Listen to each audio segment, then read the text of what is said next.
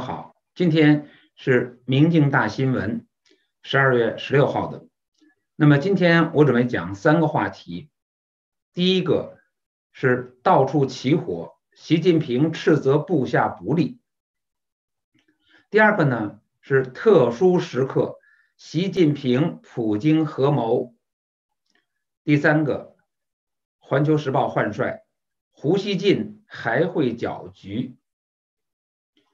那么我们先谈第一个话题，在啊昨天，《华尔街日报》发表了一个重量级的长篇报道。这篇报道的题目是“习近平的领导风格让下属抓狂的微观管理”。那么，在国际媒体上有这么长的报道的还并不是太多。啊，关于习近平的这个报道，所以华尔街这篇报道呢，很值得关注。这篇报道呢，它列举了很多非常详实的例子，这是这篇报道的特色。当然，呃，因为对于习近平来讲，外界对习近平应该有一个比较啊大概的认识都有了，因为毕竟他已经在这个。位子上坐了将近九年多了，所以人们对他都有一个比较清楚的认识了。但是呢，很多事情的细节我们未必知道，而《华尔街日报》这篇报道呢，恰恰给我们补充了一些让我们能够更深刻的认识习近平的一些细节，这是这篇报道的价值所在。这篇报道呢，它首先提了一件第一件事情什么呢？就是。关于啊，今年的这种管理部门对教育辅导机构的这种打压，这个事情是怎么来的？这篇报道提到，在今年早的时早些时候，习近平呢向教育部的官员发出了一个指示，啊，就是说希望对这个教辅行业有所管理。关心他担心的是。这种比较富裕的家庭，通过这种教辅啊教育辅导行业，能够获得优势。这样的话呢，让一些中产家庭的孩子们啊，会形成焦虑，他们没有条件进行辅导。所以呢，根据这个情况，教育部的官员就起草了一个计划，其中就包括对这种初三以下的这种学生的这种补习呢，进行一些限制。这个计划报到习近平那儿之后，习近平就说了一句话，说这个计划太软了。这一句话应该说，他说教育部的计划太软了，但是习近平这句话可是太硬了，太有杀伤力了。教育部的官员立刻就做出了非常强的这种啊反应，然后。就把这个计划强化了，或者说极端化，然后就把整个这种高中教育都包括进去，然后做了非常严的限制，而且还要求那些私立的教育辅导这种公司啊，注册为非盈利组织，也就是说，你干可以，不能赚钱。那对于这些私立机构来讲，他们怎么生存啊？不赚钱，他怎么生存啊？所以这等于是断了他们的财路，也就断了他们的活路。而这么一搞的话，这些教育辅导机构基本上就等于是没了出头之日啊！很快，因为这些都是很多都是上市的公司啊，那么。他的这种企业的股票啊，引起了这都抛售了，那引起很多人焦虑啊，很多人恐慌啊，急忙抛售股票，结果这市值一下就蒸发了数百亿美元，这是一件事情。这件事情造成的后果非常严重。我们知道，单单新东方一家就。要裁可能十万人啊，今年就裁到四万人，明年可能还要裁，那这个很可怕的，这导致多少人失业啊？而且有很大的问题啊，这些人应该说都是中国受教育被裁掉这些人呢，都是中国受教育程度比较高的一批人。这一批人失业，对他们对这个社会来讲，对他们家庭来讲造成的这种冲击，这个很难估量的。整体下来，可能会导致，据说这个公司一共几十万家，受牵连的人可能数百万甚至上千万。目前中国的大学生就业非常的艰难，每年毕业八九百万大学生。根本就找不到工作，那么这个教育辅导，这应该说是这些啊刚毕业的大学生们他们的一个很重要的就业岗位。那这个路断掉之后，那这些人怎么活呢？非常非常的严重啊，这是一个大事情。第二个呢，他披露的还披露了一些啊别的例子啊，比方说蚂蚁集团在美国啊上市募股。这件事情就是被习近平亲自决定让他取消的。那么这个呢，外界以前虽然说是不是知道确定是习近平搞的，但是从当局的这种处理的方式来讲，可以想象得到，如果不是习近平亲自拍板，不会做的这么决绝啊。上了市里的退市，这绝对的就是。我的权威是绝对不允挑不允许挑战的啊，所以这里边反映出来这种权力的傲慢、权力的霸道，我们想象也能想象也能想象出来，这事儿一定是习近平的啊决定。但是呢，这个报道它确实证实了这一点，就是习近平做的决定。那么这里边呢，特别提到一点就是。习近平呢，是一个微观管理者。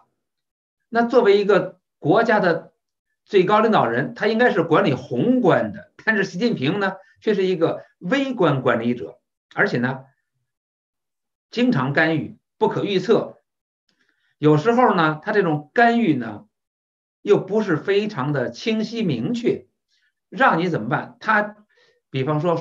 刚才提到的例子，他说一句太软了，那这个太软了什么意思啊？怎么个强硬法啊？他没有说，那就猜的人那就只能按照自己的想象，在一切方面啊施展了强硬啊措施，所以这个里边就会带来很大的问题。这个报道提到，有内部人士说。这会在官僚体系中造成混乱，扼杀政策辩论，有时会导致有些政策没有经过深思熟虑就出台了。而且呢，现在关键问题在于，这些官僚们他们都搞不清习近平究竟想什么，所以呢，习近平说一个太软了，他们肯定会把习近平的这个政策啊，把这项政策极端化。站在最激进的这一侧去做，那有的时候就会搞得过了分了。这里边还举到过一个例子，比方说习近平表态要搞这个啊碳达标、碳达峰啊、碳中和，也就是到二零六零年中国的这个排放量和这个吸收量达到平衡，也就是不再产生。啊，二氧化碳。因此呢，中国就要少烧煤。那么，习近平发这指示之后呢，那地方官员们为了迎合习近平，就把这个指令这个指令极端化了。那么，千方百计的压缩煤炭的生产，压缩煤炭的使用，结果导致，因为中国的发电厂大部分还都是烧煤的。因为中国煤多油少气少，没有办法。中国这个国家资源分布就这个情况，所以呢，发电厂烧煤为主。可这一下怎么办？很多发电厂因为煤不够，就拉闸限电，导致很多的企业在生产旺季不得不停工。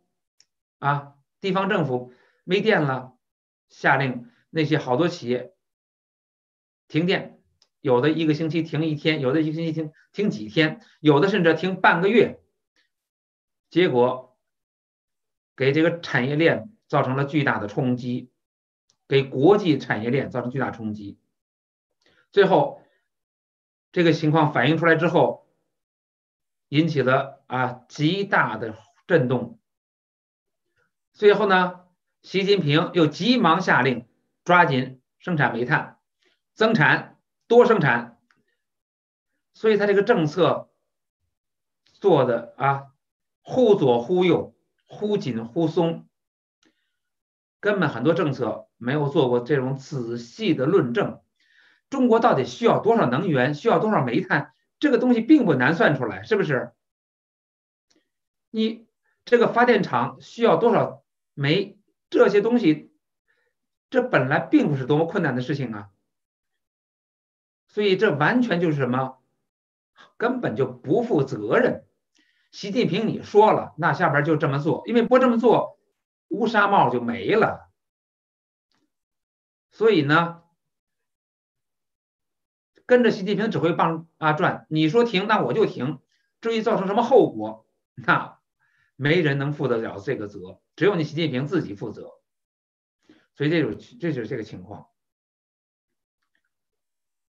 那么这种实际上最后导致的就是很多官员其实，在私下里非常的质疑习近平的一些决定，他那些决定很有可能就是拍脑门拍出来的，根本就没有经过深思熟虑，根本就没有经过这种幕僚人员啊这种专业人员的仔细的论证推演啊，在私下先推演一遍看看有没有什么问题，根本没有做过这种考虑。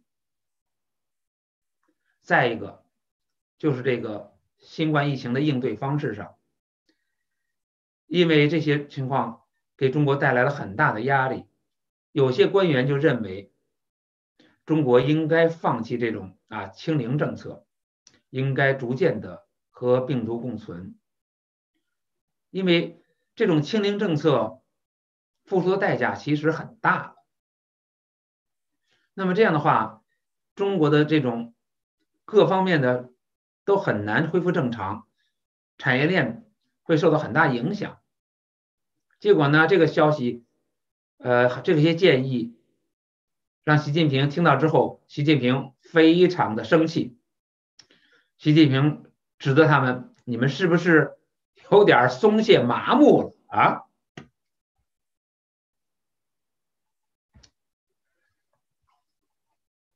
结果呢？到目前为止，啊，当局依然不能调整政策，必须得坚持清零。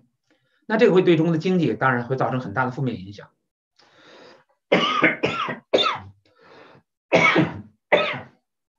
对不起啊。那么再一个就是从今年开始的，针对那些民营企业，特别是那些标杆型的民营企业。啊，那些著名的大企业，全面的这种镇压，给国内的这种啊高科技企业、一些金融企业，还有一些做游戏的，以及啊这种教育培训、以及房地产等等这些行业，都受到了重创。那么这次习近平对中国经济的这种制裁。让中国的这种上市公司的市值至少蒸发了一万亿美元，啊，这个财富损失巨大呀，一万亿美元啊，相当于大概啊将近七万亿人民币，一个中国人五千块没了。如果这个对很多穷人来讲，这五千块可能还一个人五千块，要是四口之家。增加两万块，这年就过得非常滋润了，非常肥了，是不是？结果吧唧，习近平这一句话给干掉了一万亿美元。那么这篇报道，《华尔街日报》的这篇报道，等于披露了啊，对于教育培训行业的这种毁灭性打击，对这种科技、房地产和其他行业的打击，习近平就是始作俑者，他是很多灾难性政策的根源，这些毛病都来这习都来自习近平这儿，这些问题都是习近平造成的，而且。由于习近平的这种专横霸道，让很多的官员做事情的时候更加的畏首畏尾，啊，患得患失。那么这么做过来呢，这些人当然就没有没有主动性了，搞不好丢乌纱帽，那何必要多一多一事不如少一事嘛？所以就更加的依赖习近平的这种强力推动，那这样下来就形成了恶性循环。习近平越强力推动，那么官员就越不作为，因为风险太大。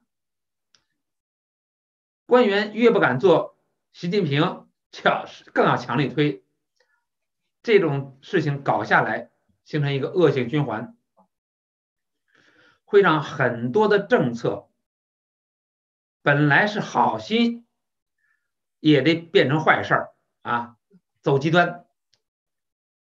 所以，习近平他制定政策本身，他就是一个简单粗暴，这是他的做人的特，他的特色啊，他的个性决定的。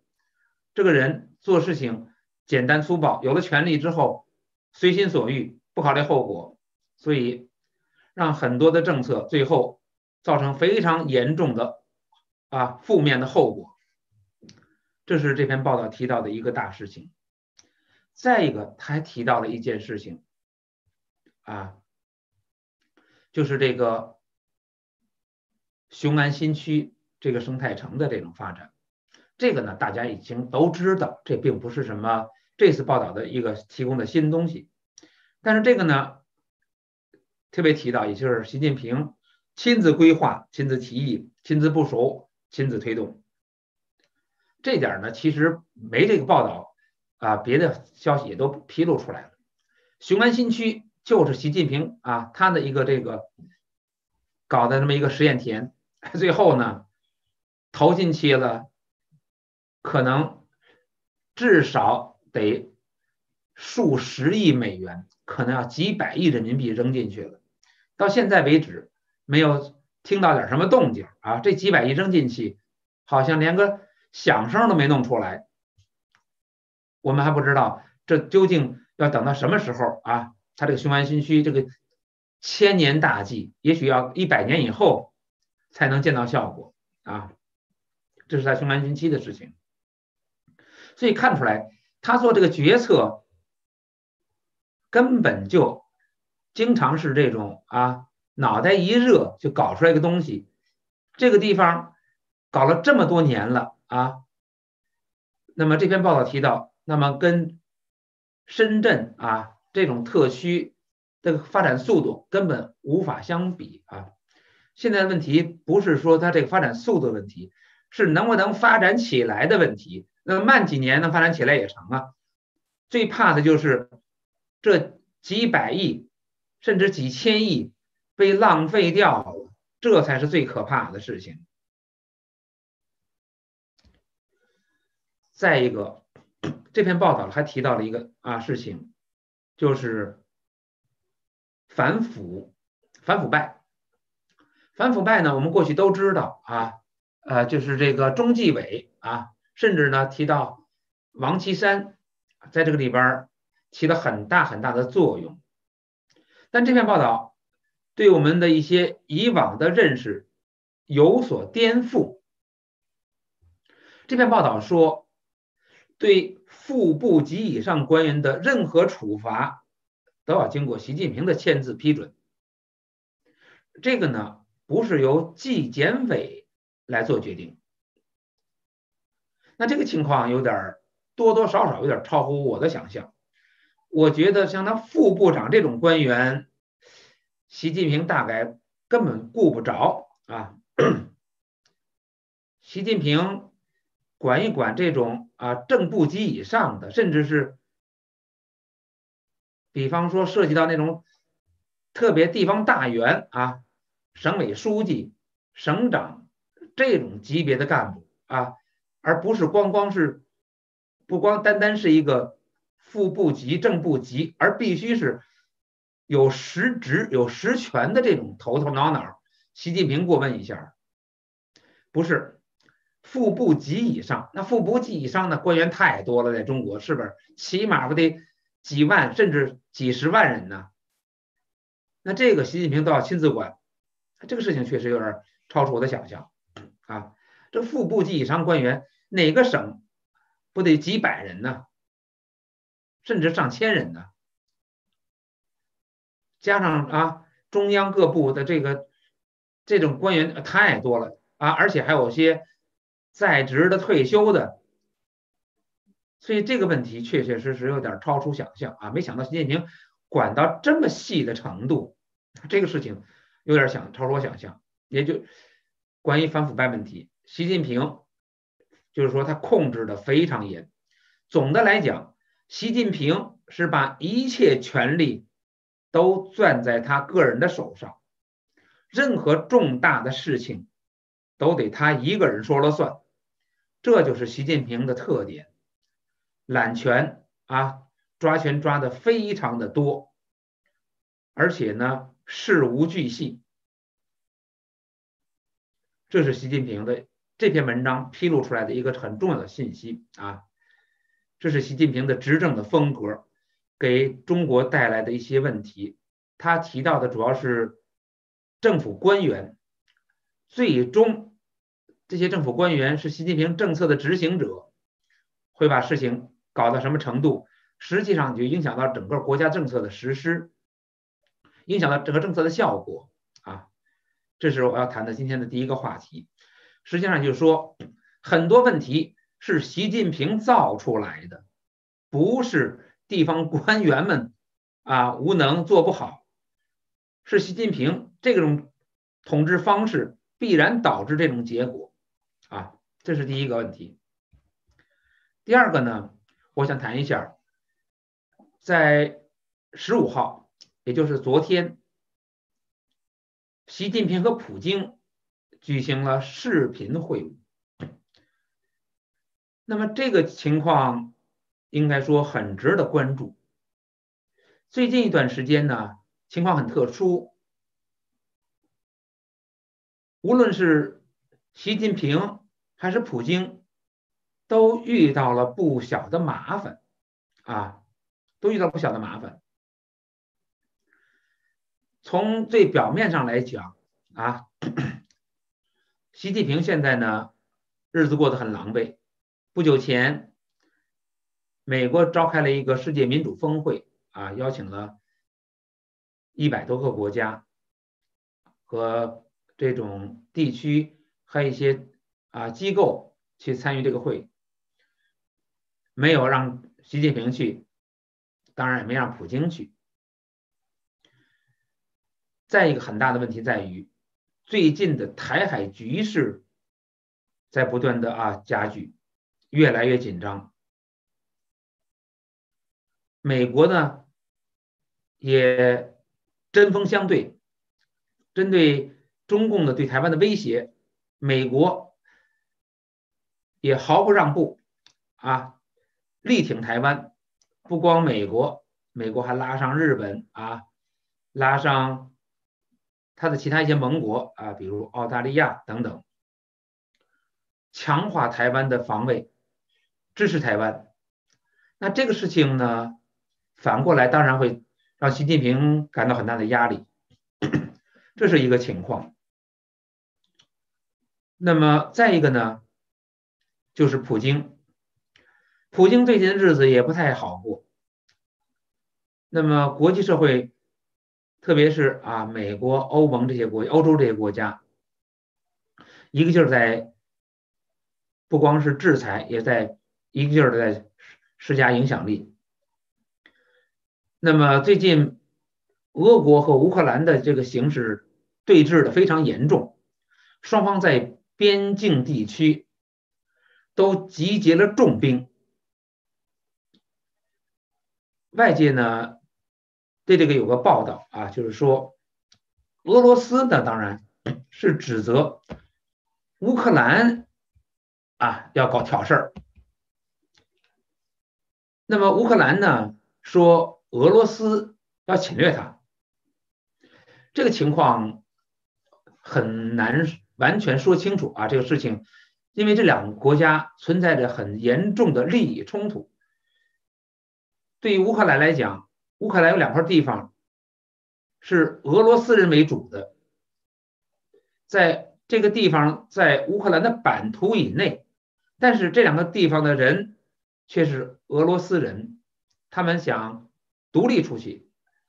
那乌克兰当然不允许了，但是呢，毕竟守着这么一个 强国，乌克兰的实力跟俄罗斯目前不能相提并论，所以乌克兰实际上没有特别强的办法，只好允许这个地方自治，高度自治，但是实际上呢，有点失控了，这个地方啊，乌克兰有点失控。乌克兰乌克兰从他自己国家的主权角度考虑啊，他想把这个地方完全控制起来，而这一点的话呢，俄罗斯是不接受的。乌克兰又担心俄罗斯有可能对乌克兰发起更大的攻击，那么现在呢，乌克兰这边据说也集结了十来万军队。俄罗斯这边也集结了十来万军队，而且据说调集了啊数千辆坦克，有可能在明年一二月份发起进攻。所以这件事情上呢，让欧洲也很紧张，美国也很紧张。美国前两天，美国总统跟普京啊来了一个视频会议，也谈到这个问题。如果俄罗斯打击乌克兰的话，那乌乌啊会受到严厉的经济制裁，是不是北约会出兵？这个是难说啊，毕竟乌克兰它不是北约的成员。那么现在我们现在就是还不能完全确定，普京究竟想干什么？普京呢是一个很类似于新的沙皇了。这个家伙很强硬，而且呢，在一些民族问题上，他这个考虑的比较多一点。他的这种治国的，在管理国家方面，基本上没什么像样的建树。所以呢，如果能够为俄罗斯夺回几块领土来，这或许让他能够获得很高的支持啊，民意支持，民意提升他的民意啊。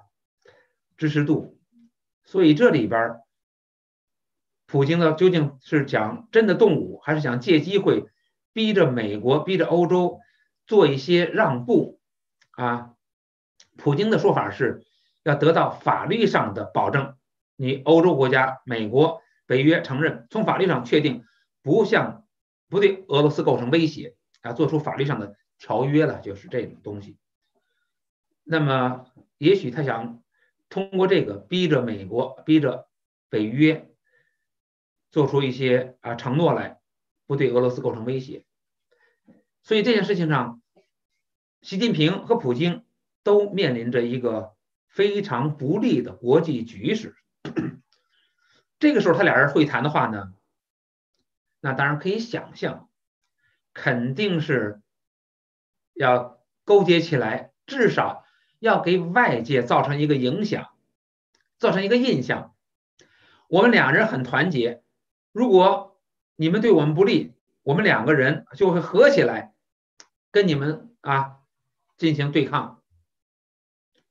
他们两个人都想给外界造成这么个印象。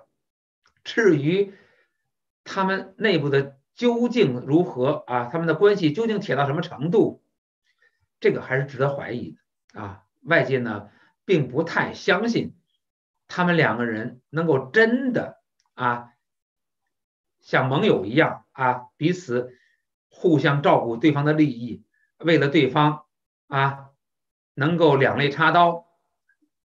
现在外界并不相信这个情况，但是这次会谈的话呢，呃，发表的这种对外发表的这种信信息啊，当局发表的信息呢，提出来了啊，就是呃，习近平支持普京的这种啊，理解普京的担心，支持普京的这些作为，这是普京从习近平那儿得到的。那么习近平呢？从普京那儿得到的就是支持中国在台湾问题上的立场，反对任何借台湾问题伤害中方的利益，啊，同时也表示，任何挑拨离间俄中关系的图谋都不会得逞。实际上，现在这两边呢都有点互相利用。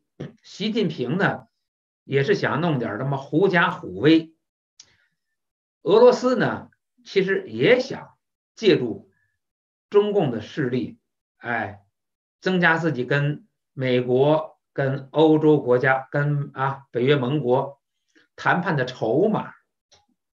所以这里边呢，说白了呢，是有点相互利用。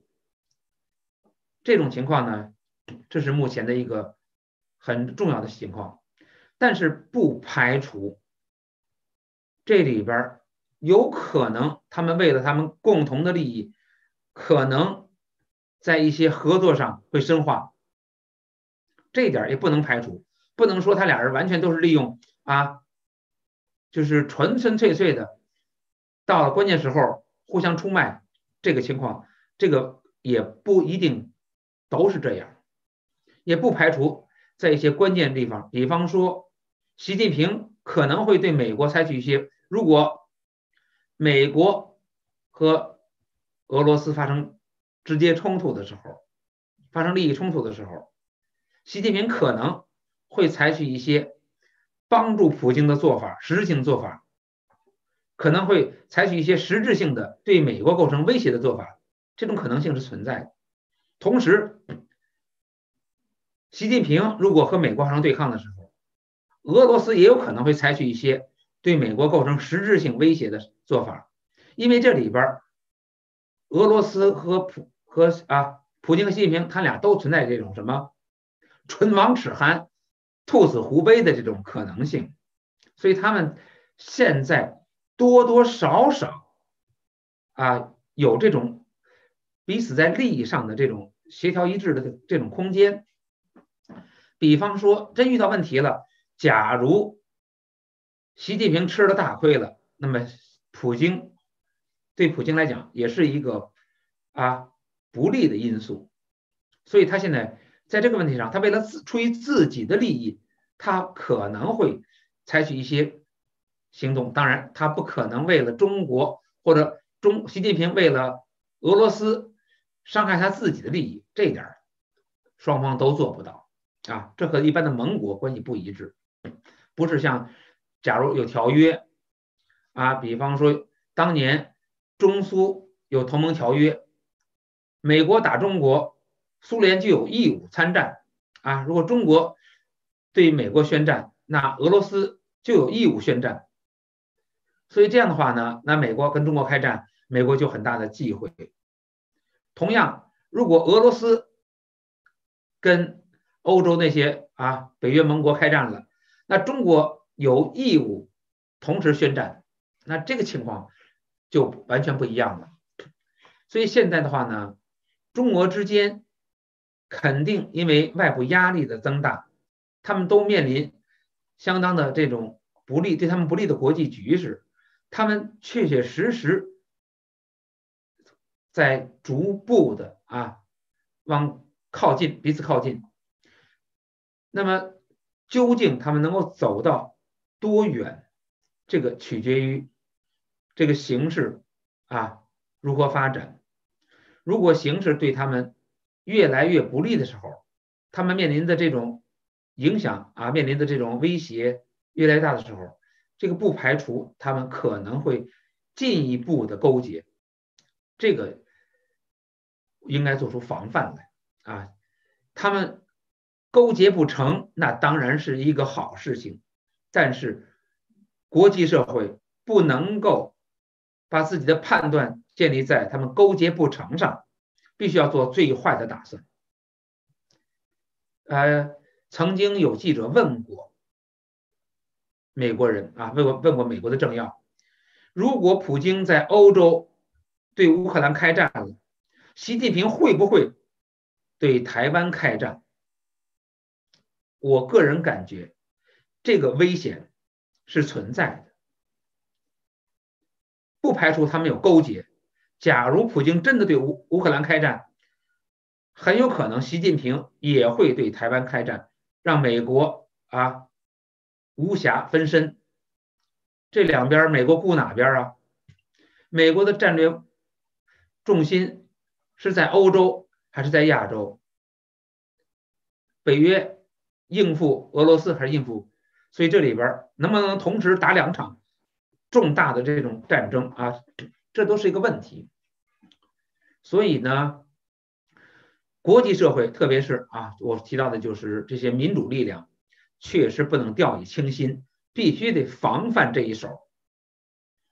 他俩人勾结不起来，那是好事儿；勾结起来了，也必须有足够的警惕、足够的防备。这是要谈的第二个话题。那么第三个话题呢，